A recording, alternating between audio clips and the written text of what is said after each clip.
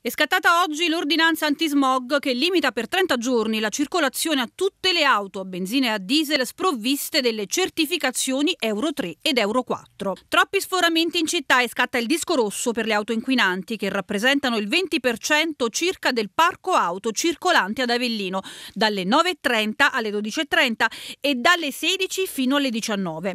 Oggi partenza soft, poche multe, molte informazioni per i pochi automobilisti in macchina, visto il ponte del primo maggio viaggio, ma sono stati tanti anche i cittadini disorientati che hanno chiesto informazioni agli agenti della municipale sistemati ai varchi. Non ero informato bene di questa cosa, non...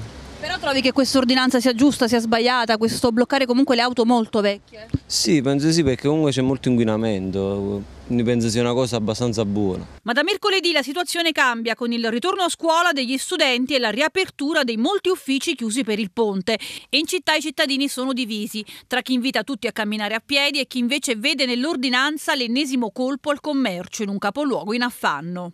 Non è l'inquinamento, sappiamo come a, a Taranto e Lima, chiudiamo la fabbrica e campano tante persone, chiudiamo la perdita di lavoro, si cambia di, di aria o di, di fame. Qua fra dieci anni si fa la guerra della fame perché chiudono tutto. Il problema, ma questo riguarda più noi della città o soprattutto del centro, la macchina va presa solo in casi diciamo, di, di, spostamenti lunghi, bisogna entrare nella, nella mentalità che, che, che, la macchina va presa solo diciamo, per, per spostarsi da un paese all'altro, ma tra l'altro oggi con una giornata così bella.